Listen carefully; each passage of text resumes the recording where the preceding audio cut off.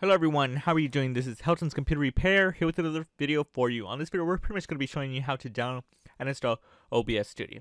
OBS Studio, that pretty much stands for Open Broadcaster Software, is pretty much a open source cross-platform that's pretty much for streaming stuff and recording on your computer. So pretty much uh, lots of people that use pretty much out there like on Twitch or YouTube or Facebook or just doing a regular computer capture, stuff like that. It's a very good program that's been out there, and technically even gets so popular that they pretty much create one that's even integrated for Streamlabs. That's another video I'll pretty much be showing you how to do like this. It's also popular too because it's not just regular for Windows. They actually make this also work on Mac OS, and believe it or not, even on Linux. So it's a very good program, and pretty much we're going to be showing you how to download and install it, this program in Windows 10. So let's go ahead and get started.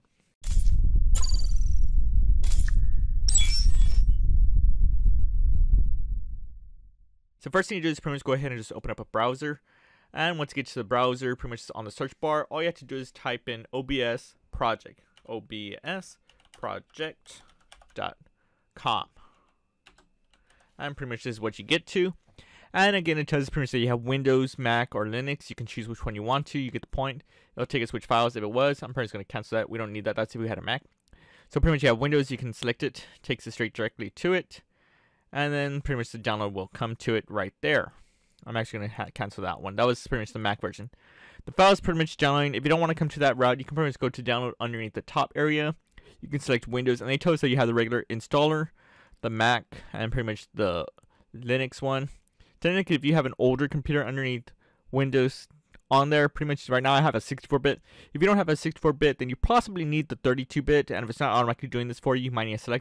So in case you don't know what yours is, you can open up Explorer, go to this PC, right-click on it, select Properties, and pretty much right here underneath the system type, this whole layout might look a little bit different, but you should be able to find this.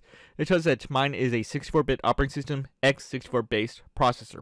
So depending on yours, you might say a 32-bit operating system an x86 based processor depending on there. But pretty much this is what you will find out. But regardless the program has finished downloading.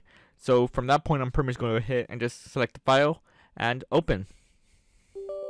You'll probably be prompted go ahead and press yes. And pretty much from that point you'll pretty much press next. For the time period I'm pretty much going to go ahead and just exit the browser. I don't need anymore and I'm going to go ahead and press next this is pretty much one of the most popular features that we get on this issue. It tells us that your system is missing runtime components that OBS Studio requires. Would you like to download them? Go ahead and press yes. Lots of people press no, then you're pretty much out of luck. So be sure that you select yes. And it's pretty much going to need some pretty much Visual Studio files that's needed for it. So here we are, and it pretty much took us to pretty much the OBS feature that's needed. OBS requires some additional files, Visual C++ 2019 redistributables pretty much currently not installed on your computer, go ahead and select this specific file. If you have a 32-bit, you'll pretty much need this file too. Same concept, select it, let it download, and once it's done downloading, go ahead and just run this file. This is pretty much the most important one. You will have to agree and select the license. You can read it if you want to. Regardless, go ahead and press install, and you'll probably be prompted. Go ahead and press yes, and pretty much let it do its work. I'll probably go ahead and press close. I'll probably give you this location in case. So an example, this is 64-bit. I bet if I type in 32-bit, it'll probably take us. Oh, I mistyped it right there. Let's go back. I was selecting it right here. I don't think I had number lock to install. So I'm typing 32-bit. And takes us to the 32-bit right here. So I'll probably give you the links for these two. That in case you need the Visual Studio for this to work. But regardless, I'm pretty much going to hit and just X this out. And now we're going ahead and go to Explorer again. I'm going to go to my downloads. And I'm going to go ahead and reopen up the OBS Studio and probably be prompted to go to press yes and let it do its work again. So here we are trying to install Studio, oh, Studio, Studio again. Go ahead and press next. And tell this information, I really don't care. I'm pretty much going to press next.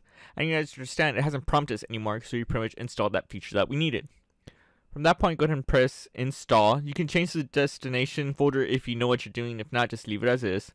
And I can go ahead and show the details if you want it to be shown. Right now I really don't care. I'm pretty much going to hit and just let it do its work.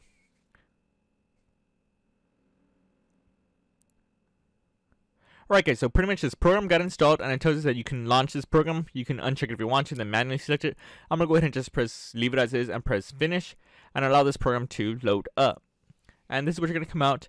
You can follow this instructions by following the customizations. I actually do all this stuff manually and you can probably find YouTube videos that shows you how to do this additional features out there.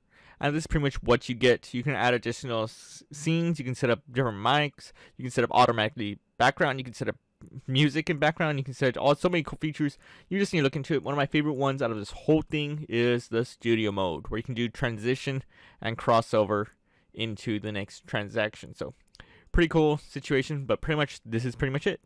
Thank you for watching from Helton's Computer Repair, and I will see you on the next video. Thanks for watching guys. If you just like this video, then hit that button. But if you like it and you want to see more, hit that like button, get subscribed, comment, and tell us what other tech videos you want to see. Consider checking out our merch store, link in the video description. And for the rest, I will see you on the next video.